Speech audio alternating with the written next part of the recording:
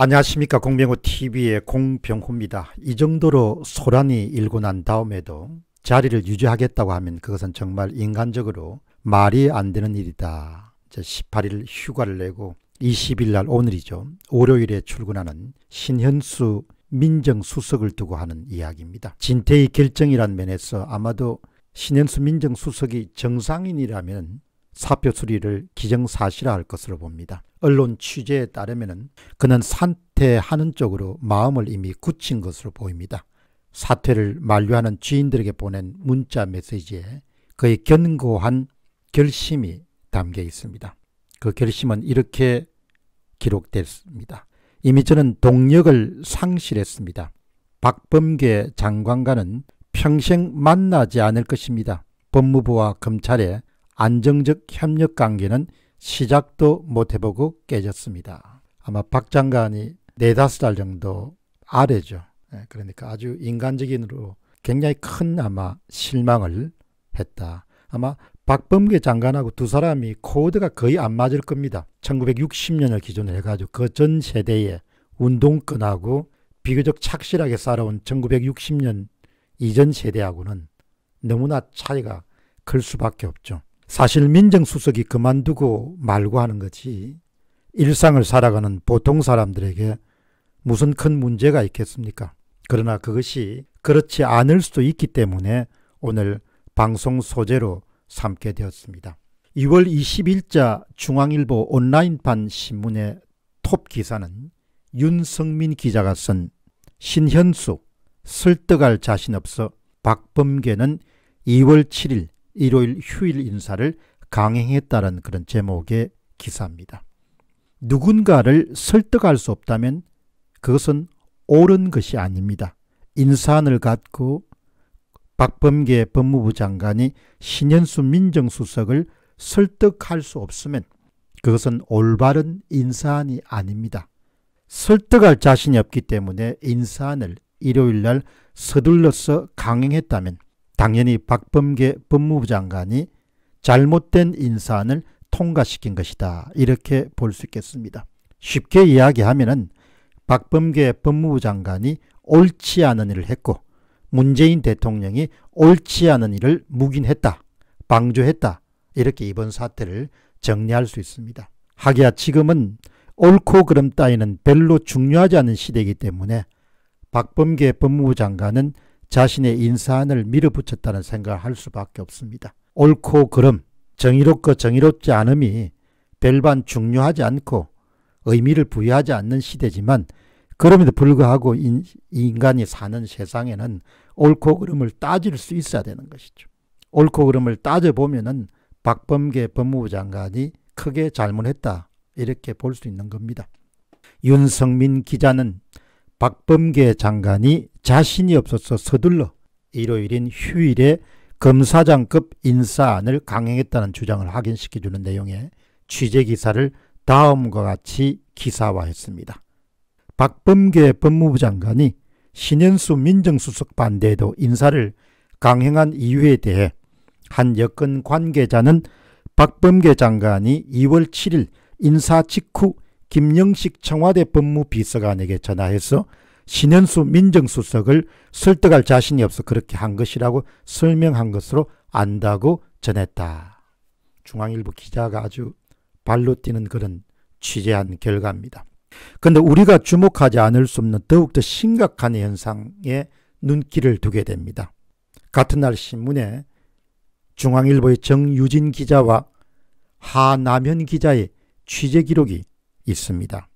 2월 20일 날 중앙일보는 박 법무부 장관이 대통령 패싱했나 신현수 박범계 감찰 요구라는 아주 특별한 기사를 실었습니다. 검사장급 인사안이 대통령을 패싱해서 그냥 강행되었다.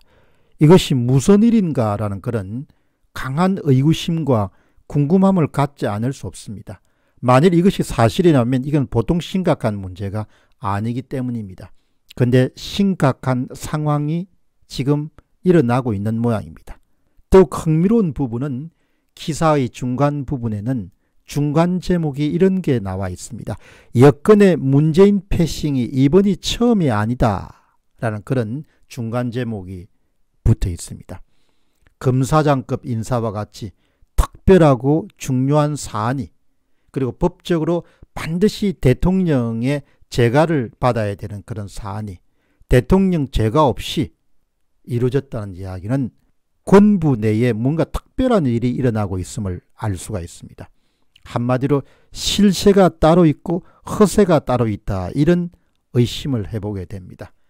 대통령의 그 패싱한 검사장급 인사안이 뜬구름 만은 아닌 것처럼 보입니다. 정유진 기자와 하남현 기자는 구체적인 이야기를 기사화했습니다. 신현수 청와대 민정수석은 문재인 대통령에게 정식 사전 결재를 받지 않고 검사장급 인사를 발표했기 때문에 박범계 법무부 장관에 대한 감찰을 요구했다고 복수의 여권 관계자가 2월 20일 말했다. 두 기자가 확인했다는 이야기죠. 청와대가 대통령의 재가 없이 법무부 인사가 발표됐다는 일부 보도는 사실이 아니다라고만 밝혀 주말 사이에 의혹은 정폭됐다. 신현수 수석이 박범계 장관 감찰 요구에 대해서 부인하지 않았기 때문이다. 청와대가 문 대통령이 검찰 인사를 재간 시점과 방식을 계속 숨기고 있는 점도 의문을 낳고 있다. 이게 만일에 사실이라면 보통 심각한 문제가 아닙니다. 검사장급 인사안이 대통령 재가를 받지 않는 상태에서 법무부 장관 거의 정결로 처리됐다는 이야기는 이것은 기본적으로 국기를 흔드는 사건일 뿐만 아니고 법적으로 상당히 문제가 될 수 있는 소재입니다. 그렇기 때문에 신현수 청와대 민정수석은 법을 잘 알고 이러기 때문에 이 건에 대해서 감찰을 반드시 실시해야 된다. 이렇게 요구한 것으로 그렇게 기사에 나와 있습니다. 또 이런 내용도 계속됩니다. 중앙일보의 기사 내용입니다. 21일 중앙일보 취재를 종합하면 신현수 수석은 참여정부와 문재인 캠프 법률지원당 등에서 함께 일한 인사 등에게 문 대통령에게 박범계 장관에 대한 감찰을 요구했다고 털어놨다고 한다. 확인됐다는 이야기입니다. 신현수 수석은 박범계 장관이 지난 2월 7일 문 대통령의 정식 사전 제가 없이 검찰 고위급 간부 인사를 발표한 것은 대통령의 인사권을 침해한 중대한 비위 행위로 봤다는 것이다. 이게 아주 보통 문제가 아닌 겁니다.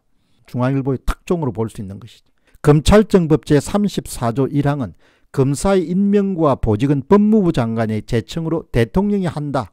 이 경우 법무부 장관은 검찰총장의 의견을 들어 검사의 보직을 제청한다고 규정하고 있다. 법에 아주 충실하게 신현수 민정수석이 박범계 법무부 장관의 감찰을 요구한 것은 사실인 것으로 보입니다. 만일 이것이 사실이라면 이것은 보통 심각한 문제가 아닙니다.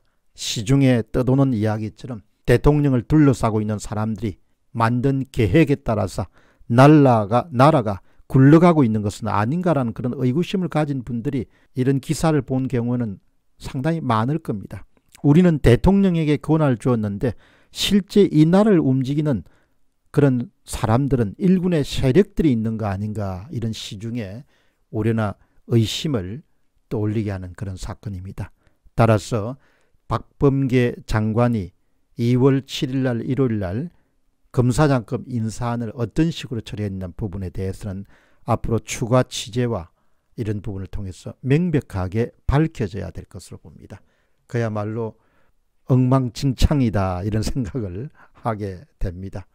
아무리 다급하고 신현수 민정수석을 설득할 수 없다고 하더라도 당연히 장관이 대통령의 정식 재가를 받아서 그렇게 통과시키는 것이 인사안인데 그것도 보통 인사안이 아니고 검사장급 인사안이라면 어쨌든 나라 자체가 아주 우스운 그런 나라가 되어 간다는 생각을 하게 됩니다. 공병호 TV의 공병호였습니다.